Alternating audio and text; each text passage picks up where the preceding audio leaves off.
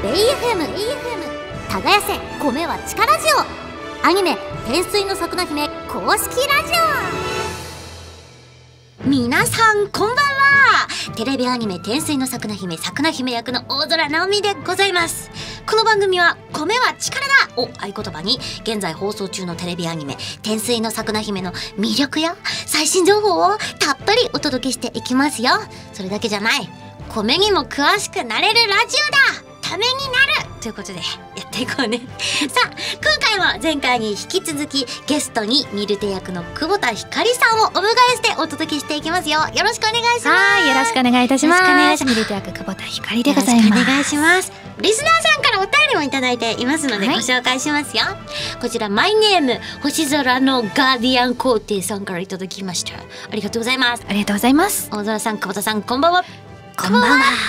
学校では、うんお昼に給食が出ますが給食ね。給食が出ますが。はい。その給食ではお米がたくさん出てきます。うん。白米はもちろんのこと、うん。チャーハンや玄米なんかも出る日があって。えー、チャーハンなんか出たかな？毎日我々のお腹を満たしてくれてます、うん。え大空さん久保田さんの好はい。きな給食メニューって何でしたか？私は、うんあのーうん。覚えてるのがですね、レンコンチップスっていうのが出たんですよ。これが今になってもおかず枠だったのかお菓子枠だったのかわからないんですけどはい。レンコンがこう薄くスライスされててそれが多分ポテチみたいに上がってお塩で味付けされてるってこうポリポリ食べるような感じ。すごくおじちょそうなんです。お腹空いてきた。なんか、うんうんうん。あの今この年にもう卒業してだいぶ経つとお酒のおつまみではみたいな 感じもするんですけどその当時は給食で出てへてー。もう争奪戦ですよ。おじちょえ給食の思い出か大私でも。空さんどうです？え私ねシチューとか好きだったな。あでもシチューってさ、ご飯派とさあのパンパンが合う派が多分いると思うけど私はシチューはご飯派なの。なんかその、ん。シチューはご飯でもそのカレーみたいにかけるのかあ。別々で食べるのかみたいな。私はかけるのも好きだけど、ん。なんか米とあのシチューを一緒のスプーンにこうやって乗せてあ。それをパカってするのが好き派だった。確かに。なんか私はお家でこうシチューとご飯がこう別々のお皿に出るんですけど、うんうんうん結局ご飯をすくってあディップして食べるみたいな。そうだよね。感ディップだ。ディップディップスタイルで。いやもう本当お腹すくんだよこのラジオ。マジで本当に。ということで、じゃあやっていこうね。お便りもありがとうね。ありがとうございましたそれでは早速参りましょう。はいお腹の音拾ったら恥ずかしいな。どうしよう。ベイ FM 耕せ米は力ジオ。今夜も米は力だ。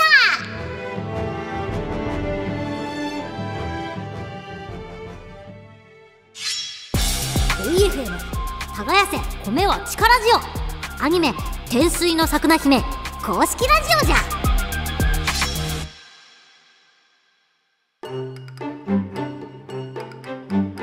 送りしています。ベイ FM 耕せ米は力ラジオアニメ天水の桜姫公式ラジオ。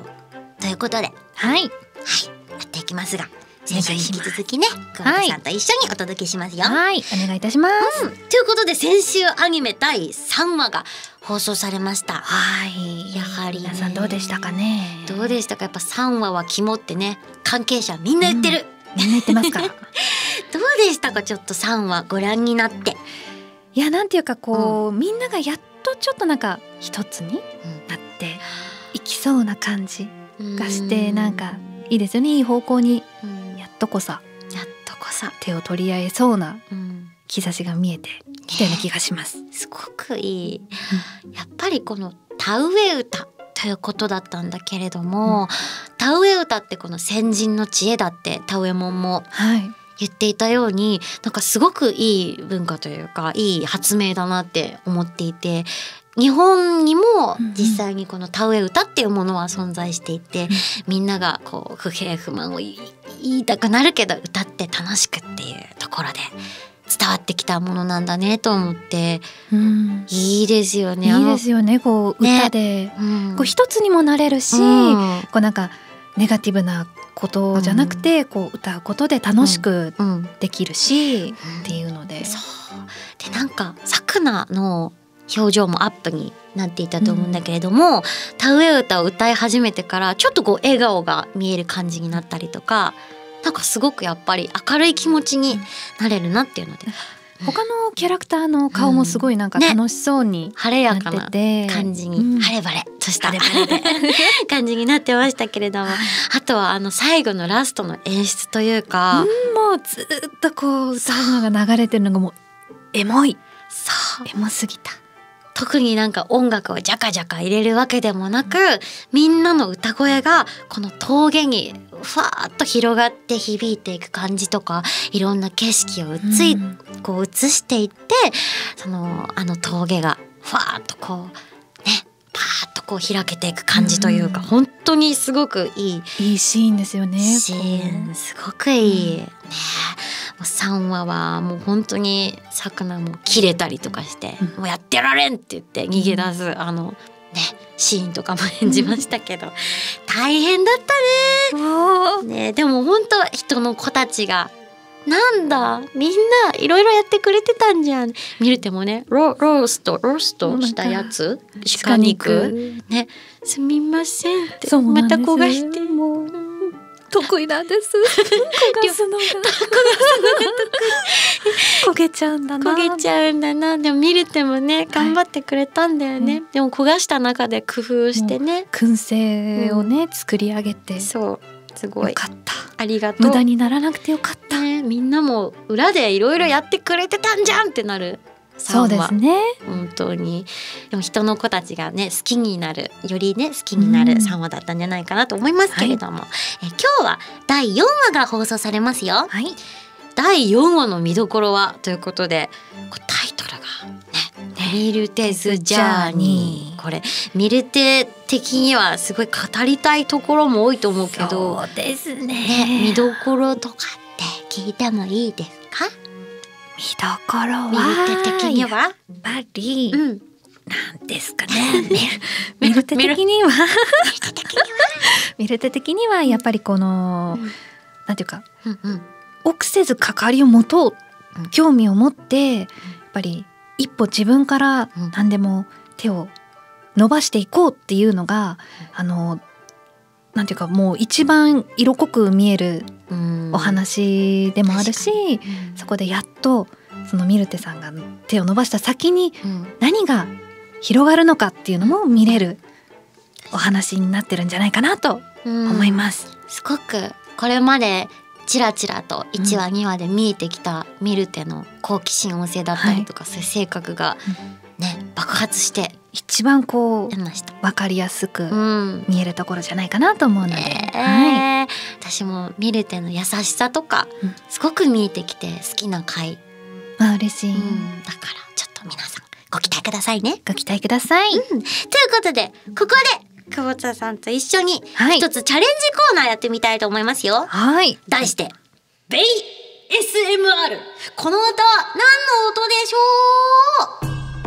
今からお米にちなんだとある音が流れてきますよ、その音が一体何の音なのかを当てるチャレンジでございます。はい、二人で相談して見事正解したらお米を使った美味しいものがいただけるそうだよ。でも答えを間違えてしまうとそんなお米を使った美味しいものをほんのお米23粒程度の一口サイズしかいただけないという。はい、きつい。きついぞ。こんなにお腹空いてるのに。ヘッドホン両耳つけないと。あそうだよ、ね、耳を研ぎ澄まさ研ないと。ぎ研ぎ澄ますぞ、はい。あお米だけに研ぎ研ぎ澄ますぞ。出るね。出ちゃったな。それではお米の ASMR お願いします、は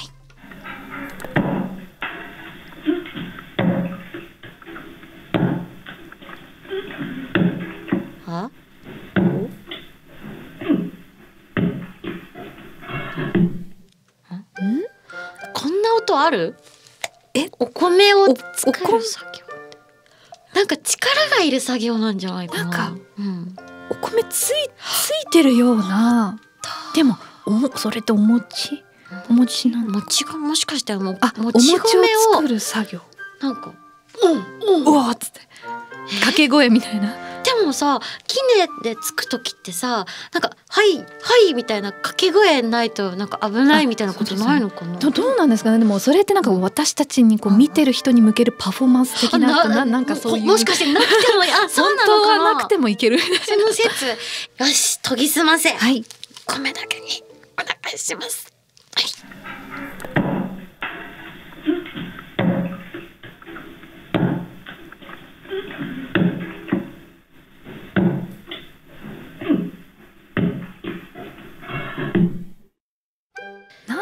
なんかでもそう聞こえてきた。ドーンペッペッペッペッあペッペッペッペッペッペッペ手のペッペ聞こえたなんかペッペッペッペッってなんかこうなんか手を加えている感じやじゃあかなんだろう掛け声なしの餅つきなのかなっぱりこうペッペッペッペッペッペッペすごいよそれ感じてたらすごいよでも聞こえましたよねペッペッペッペッみたいなでも私は正直もう「う」が面白すぎてちょっと「う」に意識を取られちゃったからここもちょっとなんかガコーンってなんか機械の音が後にペッペッペッペみたいな入ってるんですよじゃあ広くしよはいう餅つき餅つきの音ということでじゃあ回答します、はいこれは餅つきの音だと思いますお願いしますお願いします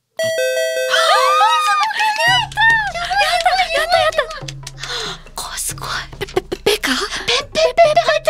な？みんなももしよかったら聞き直してみて。やっぱり掛け声なくてもいけるっていうことだな？のかな？聞いてみましょう。あ正解はキネとウスでもち米お餅をつく音すごいやったー！これはもう久保田ちゃんナイスのファインプレーだよ。いやもううっとペッペッペッペでってことはやったー！見事正解というわけでさあお米を使った美味しいものいただきましょう。今回のご褒美はこちら新きね菊次郎東京ザクザク。新きね菊次郎はお米を使った新しいお菓子を作る和洋菓子店です。あら美味しそう。名物商品の一つである東京ザクザクはお米のパフとアーモンドにバターと蜂蜜を絡めサブレに乗せて焼いた新感覚のお米お菓子です。わー。嬉しい。わーい。じゃあ除菌まずしようね。はい除菌しまして。よいしょ。うわすごい。お米の粒がすごくしっかりはっきり、それが固まって、お米ってこう見てパッと分かって。ね素敵。しそう。お米とバターのフロランタンということで結構なんかアーモンドスライスとかのなんかね、うんうん。うんうんナッツ系のなんかフロランタンっていうのは食べたことあるけどお米初めてじゃあちょっといただいてみますか。いいですか？じゃあ久保田さんから。あどうぞどうぞ。このマイクの前でいいのかあちょっとちょっとちょっと外して食べますねいいんでじゃあわ来た来た。おいい音。いい音。ねどんな。すんごい美味しい。あ。あの下ももちろんサクサクしてるんですけどお米の部分もすごいサクサクしててうんうん。あの普通のフロランタンのこう薄く切られたなんかあのナッツのスライスっていうよりもお米のこう粒感が結構あって歯ごたえの方がやっぱ上もしっかりあって確かになんか2すごい美味しい。層あるんだよね。下がなんかちょっとクッキー生地っぽい感じで、上にお米とナッツが乗ってる2層なんだけど、えー、私も食べてみる。どうぞどうぞ。いただきます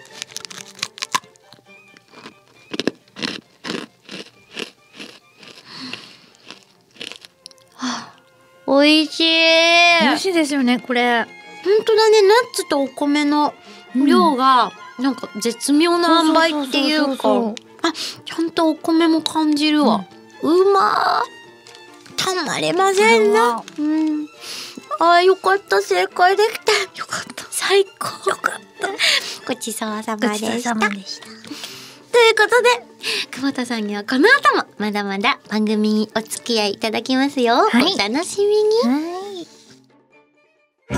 ベイ FM 耕せ米は力ラジオアニメ「天水の桜姫」公式ラジオ。お送りしています。ベイ FM 耕せ米は力ラジオアニメ天水の桜姫公式ラジオ。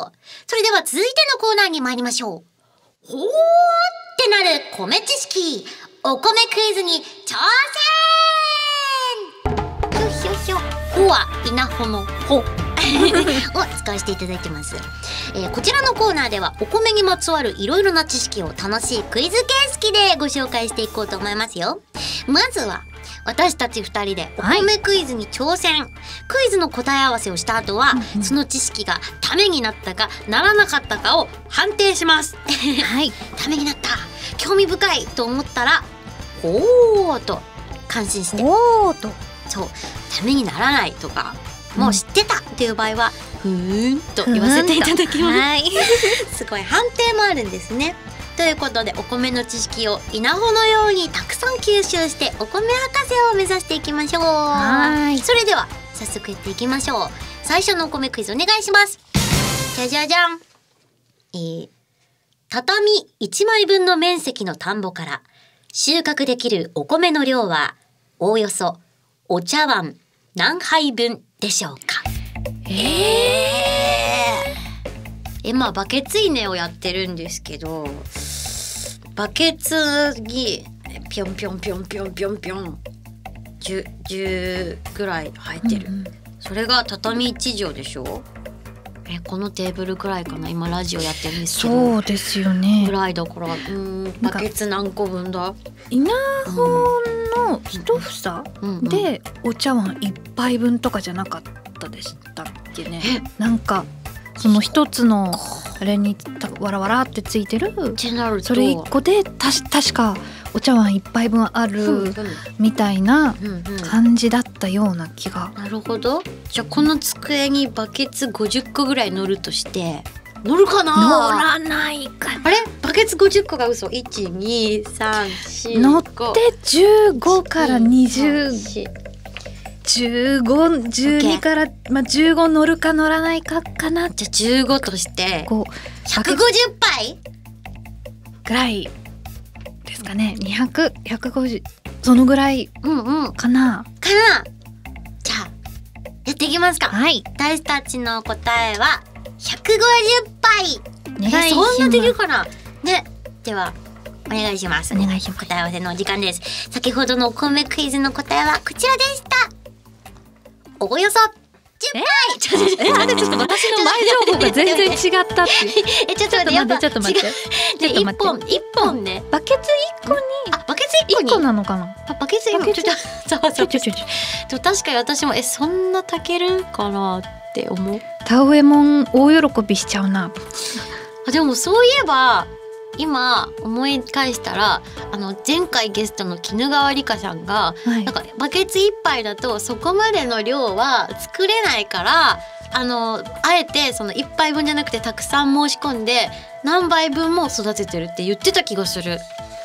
ってことめっはちゃ大事な情報じゃないですか。すごいね。今ふわーって。あるあるだし全然違う。全然違う。んだあはバケツよりも一つ一つの間隔がやっぱり田んぼは広いっていうこともあってか。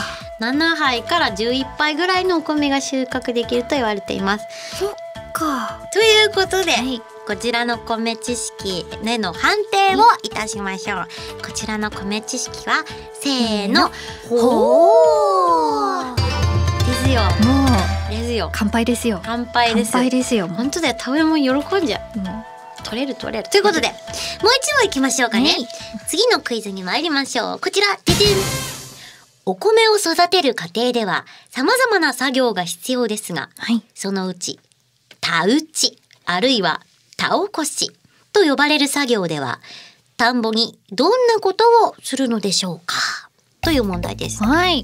えでも田起こしでしょ？こうやって、もうあのか耕すん最初ののさくながやっねねやてた。ってたこあう田を起こしてかなんかアニメだとこうふんふんふんふんふんってすごいたくさん頑張ってたけどあれが田起こしだという認識だけどあとは結構なんか起こしたらほかほかなんかしてたアニメの表現だと。だからほかほか起こす土をおおこ起こしたのですみたいなことを言ってませんでした？たまじそうですよね。だから田を待てよ。引っ掛け？なんかそんな簡か単なあれじゃないのかな？もしかして。なんかうん。周りの反応的になんかはいはいはいはいみたいな。ねねそうだよね。引っ。かかってますねみたいなえー、でも、えー、田起こし。その後にうんお水張るとこまでが田起越なのかな？えー、そんなイメージないもんね。そこまで？そね。こまで田越しって言っちゃうみたいな。確かにいやでも最初の感覚を信じようか。きっとそうに違いない。あとやっぱり二人あのさくながニャニャニャニャニャニャってやったあれをやっぱりあのニャニャニャのクワでこう土をこう耕してふわふわに、ふわふわにするのが田起こしなんじゃないかな？のえ待って、ね。細かくあんの雑草を引き抜いてからとか石とか小石とかも全部取り除いてとかあんのかな？それも全部ひっくるめてあの植えられる状態のほほかほかにするのが田起こしだ。とあいう答えでいきますか？はい、はい。お願いします。それです。では、答え合わせのお時間です。先ほどのお米クイズのこ答えはこちらでした。じゃん。田んぼの土をかき混ぜる。あ、やったー。よかったよかった。やっぱ最初にイメージしたよかった。なんか、待てよ、引っ掛けかとか思って。汚い汚いぞ心がよくないぞ、これは。横島。横島を出していかないた。とそうだね。えー解説。まだ水を張っていない田んぼの土を掘り起こし、必要であれば肥料を追加したりします。こうすることで土の中まで空気が行き渡り、土の中に栄養がたくさん生まれます。よかった。じゃあ土に起きてみたいな感じでこうんううん。耕していくのが田起こしってことそうだね。まあ、私たち知ってたってことだよね。はいもう最初にこうピーンと来ましたピンときましたかということでこちらの米知識への判定をしましょう。こちらの米知識はせーの。ふーん。もうしてましたから。そうです。知ってましたから。もうんね。よかった。うよかった。よかった。挽回。挽回。変なこと言わないで。ひ肥料までもかとか。水水か？水危なかったね。ほらまだ水を張っていない。って言ってたね危ない。危ない危ない。ということでお米クイズはここまででございます。以上ほほってなる米知識お米クイズに挑戦のコーナーでした。はい。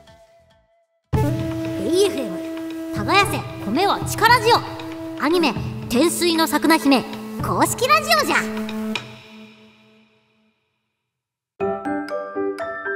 ここからはお知らせコーナー日の絵通信です。まずは放送情報です。明日7月27日23時より第4話ミルテツジャーニーが放送されます。稲作の人手が足らず沢の近くに住んでいるというカッパたちに協力を仰ぐことに。しかしミルテを見たカッパたちは放送をお楽しみに。そしてそして日本農業新聞コラボの2回目が本日の朝頃に到着する新聞、えー、27日の早朝頃の届く新聞の記事に掲載されています、漫画令和の桜姫ぐーたらっこ稲作奮闘記。ぜひ読んでくださいね。7月30日火曜日より渋谷 N スペースにておにぎりまんまとのコラボがスタート。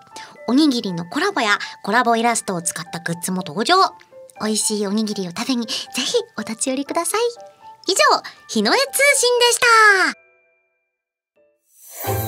BFM 耕せ米は力ジオアニメ天水の桜姫公式ラジオ。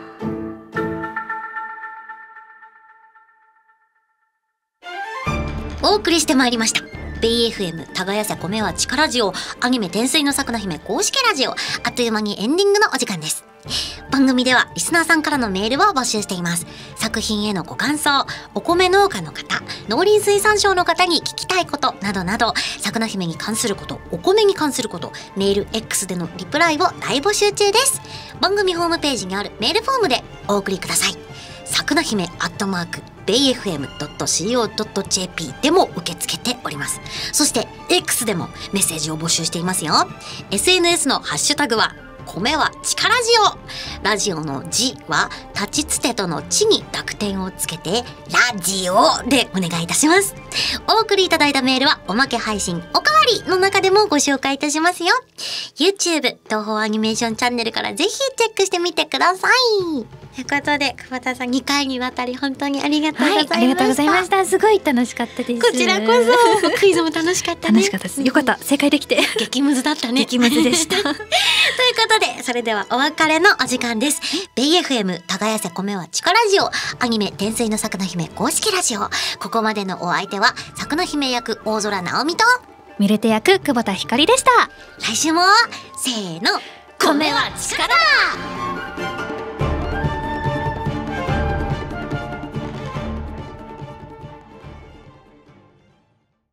めのおかわりメール紹介。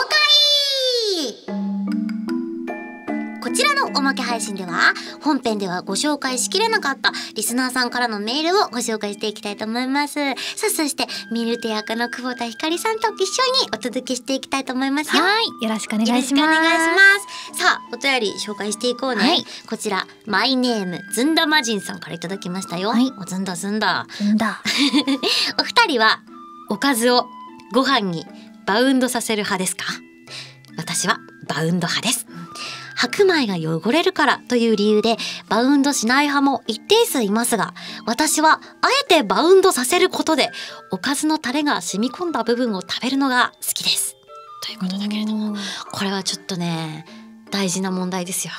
大事な問題ですか？バウンドバウンド。バウンド何をバウンドさせるだろおあれ？もしかしてバウンドしない派ですか？なんていうかバウンドをしようと思ってバウンドするっていうよりなんかこうおかずをあの取ってあ。のお落としても大丈夫なようにじゃないですけどなんかこう皿としての白米白米をそうなんです。なるほど。で落ちても美味しいしなるほどあの焼肉とかでもありますよね。バウンドさせるとか、私結構バウンドさせるんだったら巻いて食べちゃうとかある。かもしれない。素晴らしい着眼点。素晴らしい。大空さんは何かバウンドさせるものってあります？やはりあのタレ系のものとかやっぱりこの味が濃いものというのはバウンドさせた方が美味しい感じがして。タレ系は逃したくないですもんね。そうなの。そうなのだから先ほど。そうもったいない。あの焼肉に関しては絶対ご飯をバウンドさせますね私は。100%です。確かにタレつけますもんね。つけますもん。ここでちょっとはい。討論したいんだけど、お。例えば、はい。焼き鳥とかはどうですか、焼き鳥をバウンドさせるかってことですか、うんうん。でも焼き鳥って串にうん。ついてるから、うんうん、串からガーって食べてなるほど。なるお米ガーっていう。ほど。どっちも同じ手かもしれ私は、ない。はい。焼き鳥は普通にこう食べるんだけどはい。最後の方の焼き鳥はこのお皿に残ったタレも味わいたいから最後のこの焼き鳥をテロテロテロテロってしてそれをご飯にテッてしてパクって食べることによってタレも余すことなくいただくんです。すごく戦略的 ちょっとね知的戦略知的戦略が。そんな感じかなやっぱり。うん私はあの、うんハンバーグをバウンドさせてみたいんですよ。バウンドっていうかあのうんそのまま切らずにお米の上に乗せてこうあの割ってジュワーみたいなやつをやってみたいんですけどなんかお店とかのあのご飯頼むと平皿じゃないですか。あー確かに。にゃーってなっちゃって。はわーってこうシュシュつかなくなっちゃうからあなんかお椀型で出てきてうんうん。上に乗せたいなっていう風にそれはすごい。すけど。えすごいあのえ部分で行くんじゃなくて？なんかちょっとジャーってなんかやったらなんか余すとこないんじゃないかなって思うんですけどお家ではうん。こんななんかジュワーみたいなの作れないし、お店は平だしすっごいいつもあーもったいない。みたいなもうあーもったいない。みたいな感じで食べるんです。は久保田さんい。あなたは天才よ。あの肉汁をいただける手法を今編み出しているからきっとこれをきっかけに全国のあのお店はちょっと深めのあの画面のなんかちょっと肉汁ごお茶飯皿をお茶碗で出して。ねえ。くださいって。それめっちゃええやん。あ スタッフさんがロコモコ丼確かに。しかもロコモコ丼ってあれですよね。あの、うんうん。卵もなんか乗ってて。でもそっか。だからロコモコ丼ってやつが存在してるんだ。確かにもうその欲望の塊があった。これを思いついた人がいたん天だ才。しかも温泉卵とかだったらもうわかる。無敵だ温泉卵も余すことなく味わいたいからお米を一緒にこうねさせたい。なんだそっかロコモコ丼ってやつがあったね。ありましたね。もうすでに。天才って言ったけどあった。そうやって発明生まれていくね。生まれていくんだ。そうだ。そうだ。盲した点でした。盲点でした。これからもね、お米を美味しく味わっていこうと思いますよ。はい。本当にお腹が空くラジオだね。あーお腹空いた。ということで、今回のおかわりメール紹介は以上となります、はい。メッセージありがとうございあました。りがとうございました。ここまでのお相手はテレビアニメ天水の桜姫桜姫役の大空直美とあミルテ役の久保田ひかりでした。ありがとうございました。りがとうございました